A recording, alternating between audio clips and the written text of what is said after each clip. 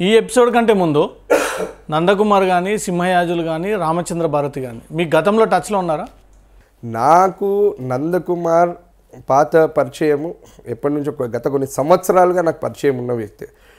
అయితే ఈ సింహయాజీ స్వామీజీ ఇంకా రామచంద్ర భారతి మాత్రం నాకు సెప్టెంబర్లో ఈ సంవత్సరం అంటే టూ థౌజండ్ ట్వంటీ టూ సెప్టెంబర్లోనే వాళ్ళు పరిచయమైనారు. అంతకంటే ముందు నాకు వాళ్ళు ఎవరో తెలియదు వాళ్ళ బ్యాక్గ్రౌండ్ ఏందో తెలియదు వాళ్ళు ఏం సాములో తెలియదు నాకు ఏది కూడా తెలియదు నందకుమార్ వాళ్ళని నన్ను పరిచయం చేసి నన్ను నన్ను ఇంట్రడ్యూస్ చేసి ఈ విధంగా తర్వాత ఈ- కంప్లీట్ ఈ ఎపిసోడ్ అంతా కూడా జరిగింది. అంటే ఏ విషయం కోసం పరిచయం చేశారు మిమ్మల్ని నందకుమార్? అంత క్లియర్గా తెలుస్తూ ఉంది కదా. బీజేపీలో చేరడానికి పరిచయం చేసినారు. టీఆర్ఎస్ పార్టీని రిజైన్ చేయాలా బీజేపీలోకి చేరాలా బీజేపీ బీజేపీ పార్టీలోకి మేము అందరం వచ్చినట్టయితే తప్పకుండా ఇక్కడ ప్రభుత్వానికి ఇబ్బంది జరుగుతుంది. మునుగోడు ఎలక్షన్ అనేది కూడా దానిలో చాలా క్లియర్గా మెన్షన్ అయ్యి ఉంది మీరు చూసినట్టయితే. మునుగోడు ఎలక్షన్లో వాళ్ళకు ప్రజాస్వామ్య పద్ధతిలో గెలవడం చాతనాయితలేదు కాబట్టి వాళ్ళు ఈ ఇటువంటి కుట్రలకు పాల్గొన్నారు కేసు విచారణలో మీరు పార్టీ మారినట్టయితే వంద కోట్లు ఇమీడియట్గా నలుగురు ఎమ్మెల్యేలను అక్కడ గ్యాదర్ చేస్తే యాభై లక్షలు. మరి వచ్చాయా యాభై లక్షలు? యాభై లక్షలు కాదు యాభై కోట్లు. ఎస్ యాభై కోట్లు. అక్కడ అమౌంట్ అనేది అక్కడ తీసుకొని రాలేదు. అక్కడ అమౌంట్ అనేది ఎటువంటిది కూడా రికవర్ అవ్వలేదు. కాకపోతే వాళ్ళు చాలా క్లియర్గా చెప్పినారు. వీడియోలో మీరు చూస్తే చాలా స్పష్టంగా ఉంది. అమౌంట్ ఎక్కడి అంటే ఎప్పుడు ఇస్తారు ఎవరి సూచన మేరకు ఇస్తారు అది ఎక్కడి నుంచి ఇస్తారు అనేది వీడియో రికార్డింగ్లో చాలా క్లియర్గా ఉంది.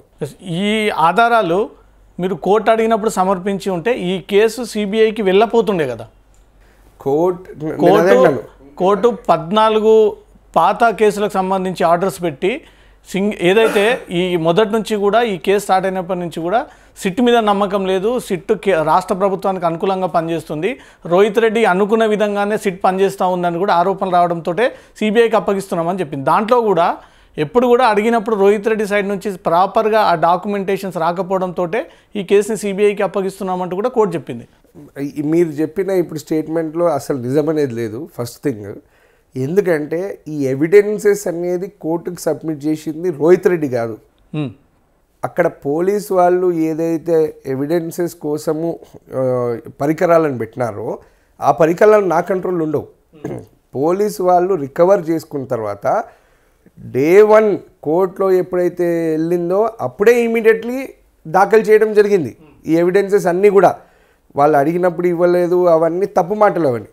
అయితే సిట్ పైన న్యాయం లేదని చెప్పేసి మీరు అంటు మీరు ఇప్పుడే ఒక స్టేట్మెంట్ అన్నారు. మీరు చూసినట్టయితే హైకోర్టుకి ఈ ముగ్గురు అక్యూజ్ ఎప్పుడైతే కోర్టును ఆశ్రయించినారో వాళ్ళు సబ్మిట్ చేసిన అఫిడవిట్లో చాలా స్పష్టంగా మెన్షన్ చేసినారు.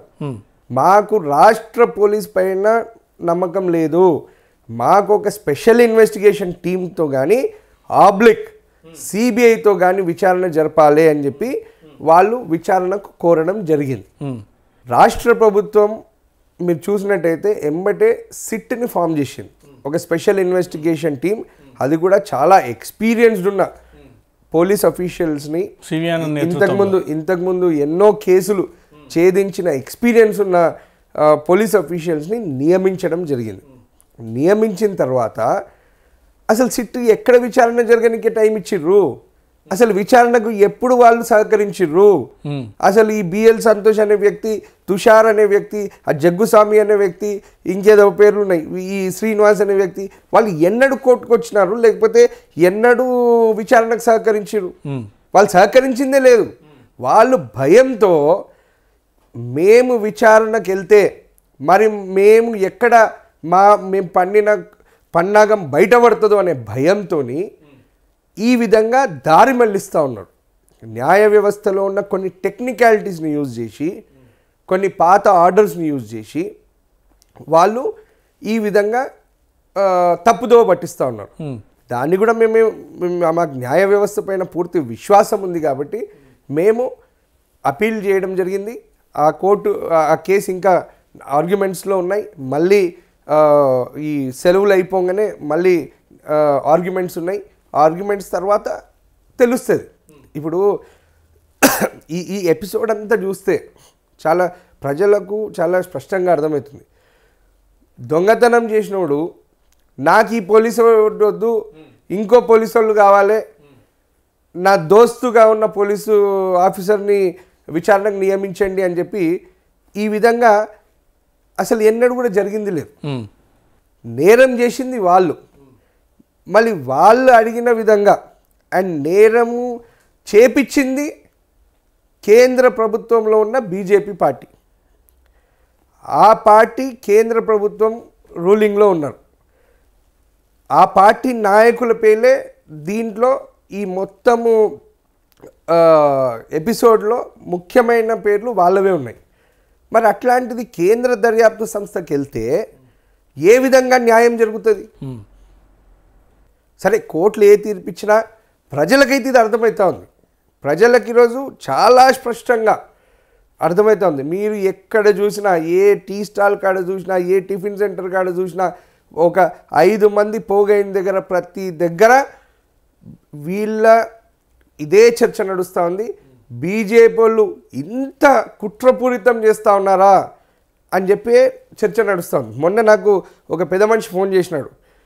ఈరోజు తెలంగాణ ఉద్యమం చేసి పదిహేను వందల యువత బలిదానాలు ఇచ్చి మరి చిన్న పెద్ద అమ్మ అక్క అనే తేడా లేకుండా కొట్లాడి ఈరోజు తెలంగాణను సాధించుకొని గౌరవ ముఖ్యమంత్రి కేసీఆర్ గారి ఆధ్వర్యంలో టీఆర్ఎస్ ప్రభుత్వ ఆధ్వర్యంలో ఇంత బ్రహ్మాండంగా అన్ని రాష్ట్రాలను వెనుకకు నెట్టుతూ అభివృద్ధి పదంలో నెంబర్ వన్ రాష్ట్రంగా దూసుకుపోతూ ఉంటే ఇక్కడ ప్రజలు అన్ని వర్గాల ప్రజలు ఈరోజు మీరు చూసినట్టయితే రైతులు మహిళలు యువత ప్రభుత్వ ఉద్యోగులు ప్రతి ఒక్కరు కూడా ఎంతో సంతోషంగా ఉన్నారు. ఇక్కడున్న సంక్షేమ పథకాలు దేశవ్యాప్తంగా ఏ రాష్ట్రంలో కూడా లేవు.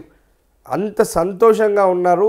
మరి వాళ్ళు బీజేపీ పాలిస్తున్న రాష్ట్రాలలో వాళ్ళకు ఈ సంక్షేమ పథకాలు ఇవ్వడం చేతగాక వాళ్ళకు ఈ విధంగా అభివృద్ధి చేయడం చేతగాక తెలంగాణ రాష్ట్రాన్ని ఎట్టి పరిస్థితుల్లో ఏదో ఒక విధంగా ఇక్కడ ప్రభుత్వాన్ని కొల్లగొట్టాలని చెప్పి వాళ్ళు ఈ కుట్రను అన్నారు మరి మీరు ఏదైతే ఈ సాహసం చేసినారో మీరు వాళ్ళ బట్టలు ఏ విధంగా అయితే మరి తెలంగాణ సమాజం మొత్తం హర్షిస్తూ ఉంది. ఈరోజు తెలంగాణ రాష్ట్రాన్ని మీరు కాపాడిన వ్యక్తులు అని చెప్పి ఒక చాలా పెద్ద మనిషి పేరు- నేను పేరు చెప్పదలుచుకోలేదు. కాకపోతే చాలా సీనియర్ నాయకుడు ఒక ఎక్స్ పార్లమెంటేరియన్.